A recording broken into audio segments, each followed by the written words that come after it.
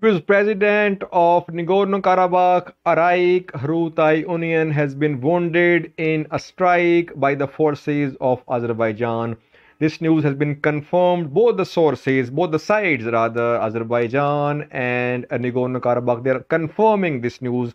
Hikmat Hajiyev, uh, who is the advisor uh, to uh, president of Azerbaijan. He is confirming that an attack was carried out on the place where uh, uh president of uh, Nagorno-Karabakh was there and he was wounded.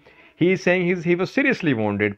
But Nagorno-Karabakh official they are saying that he was wounded but injuries are not very serious.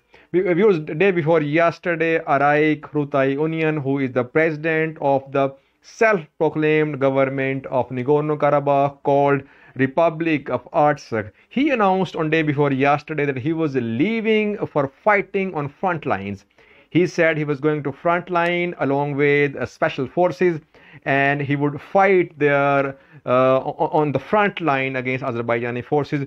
He had called upon Armenians from all over the world to come to Nagorno-Karabakh uh, for uh, fight against Azerbaijan. Now, this news has been confirmed that Araik Harutyunyan, president of Nagorno-Karabakh, he has been injured. But his injuries, how serious is uh, his uh, state now, it remains to be seen. But both the sides are confirming that he has been injured. Thanks for watching.